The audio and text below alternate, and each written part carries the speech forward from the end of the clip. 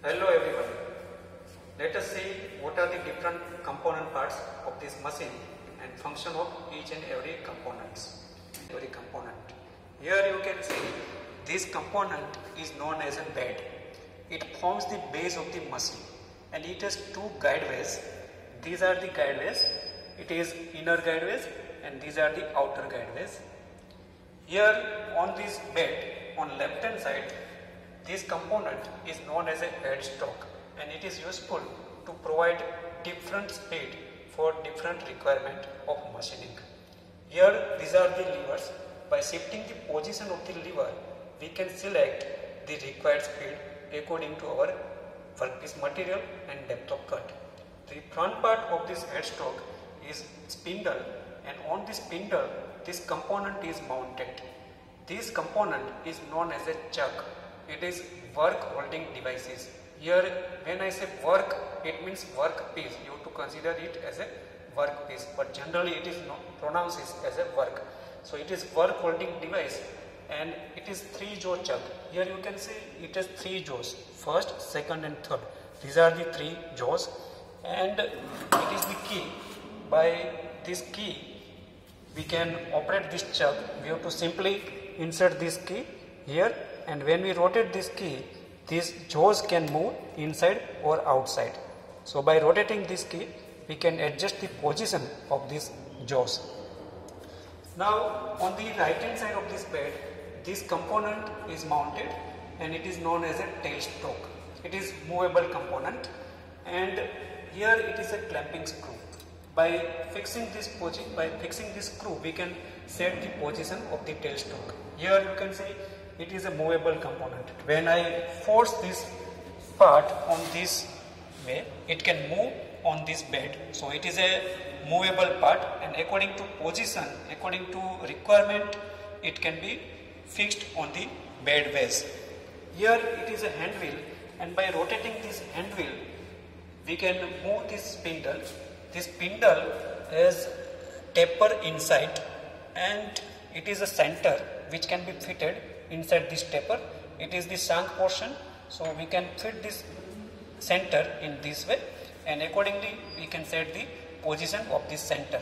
If length of workpiece is more then it is necessary to support the other end of the workpiece and for that purpose this center can be useful as it is a steady center so it is known as the dead center if it is revolving then it is known as the live center so headstock tailstock it is a work holding device chuck now you can see this assembly it is a carriage assembly and we can provide feed motion with the help of this assembly cutting tool is mounted here.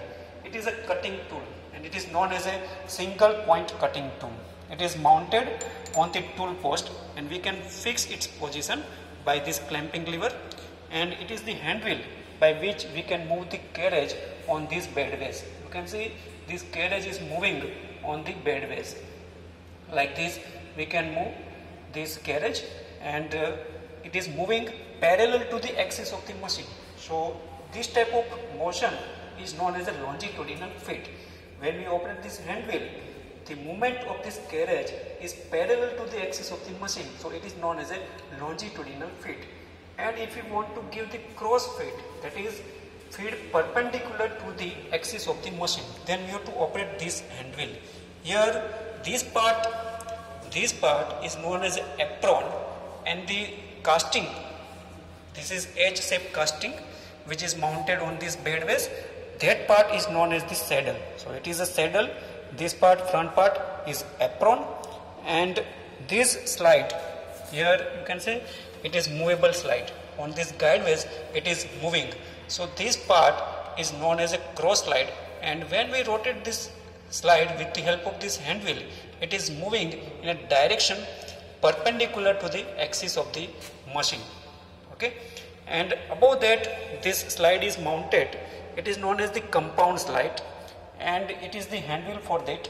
When we rotate this hand wheel it can move at the required angle. Here it is the bolt. By fixing this bolt we can swivel it at the required position so whenever we require to give it angular movement to the cutting tool we have to operate this compound slide So it is the part which is useful for the taper turning.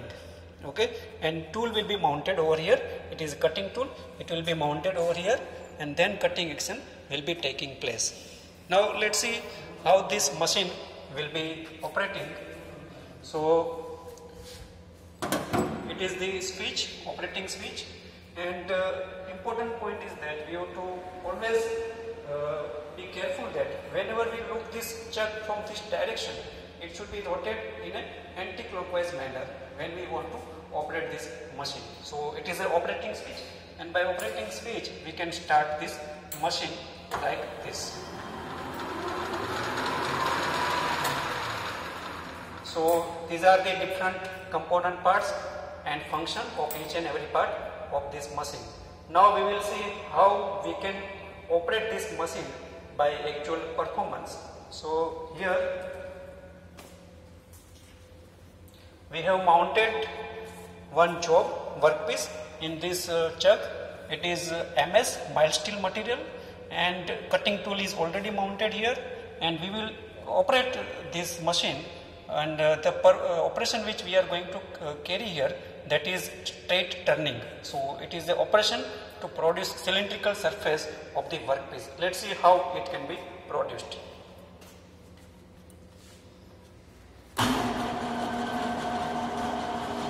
So now this chuck is rotating, workpiece is also rotating with that. It is cutting tool. Now it is in contact with the workpiece and now cutting action has started. We are moving this carriage assembly with that hand wheel and now it is the operation straight turning the diameter of this workpiece is reducing.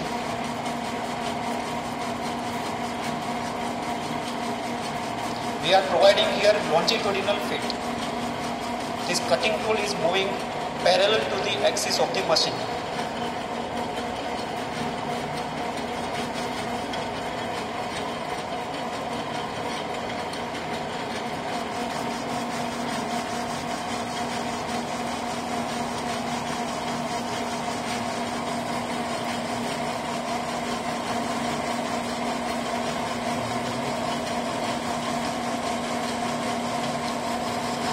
operation. In this operation, the cutting tool will be moving in the direction perpendicular to the axis of the machine. So you can say it is the axis of the machine. So direction of the movement will be this direction and that feed will be provided with the help of this hand wheel. It is the hand wheel to provide the cross feed. So it is the component which will be moving. It is known as a cross slide. When we rotate this hand wheel in this way, you can see this component cross slide is moving in this direction. So now we will perform this facing operation. Let's start facing operation. So first of all adjust the position of the cutting tool and then start the cut.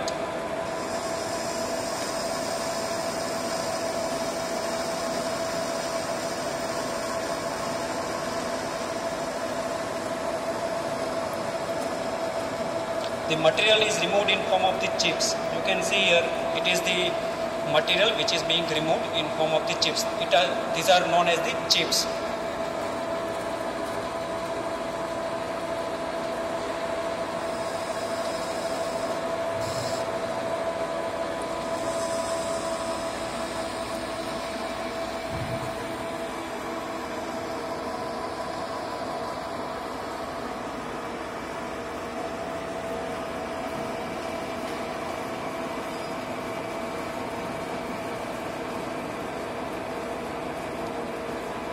So it is facing operation. Now let us see taper turning operation, how it can be performed. So it is already prepared job and uh, it is the taper part of this job. Taper means uniform increment or decrement in the diameter. That is known as the taper. So if you look at this job, the diameter is increasing on this direction and if you we look this job from this direction, the diameter of this job is decreasing in this direction. So it is uniform increment or decrement in this length and it is known as the taper. How it can be produced on lathe machine. So for that we are using this uh, component and it is known as the compound slide. On compound slide you can see this it is a base swivel base. This base can be swivel according to requirement and these are the degrees. So as per the requirement we have to adjust this compound slide. If we want to produce 20 degree taper, 25 degree taper, whatever the angle we want to set, that angle can be set with this compound slide. And now when we operate this compound slide with this hand wheel, you can see it is a hand wheel. And if you want to operate this slide, you have to operate this hand wheel.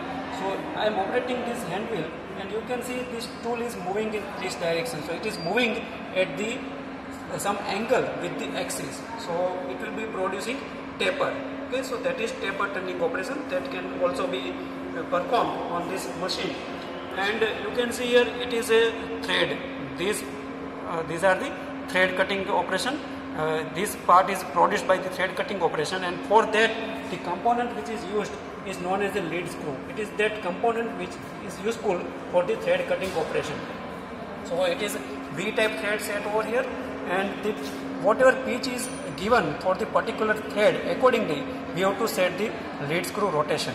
And it is the portion you can see here it is the diamond shaped pattern and it can be produced on lathe machine by knurling operation. So this operation to produce the diamond shaped pattern is known as the knurling operation and it is useful to provide the effective gripping so that slippage may be avoided.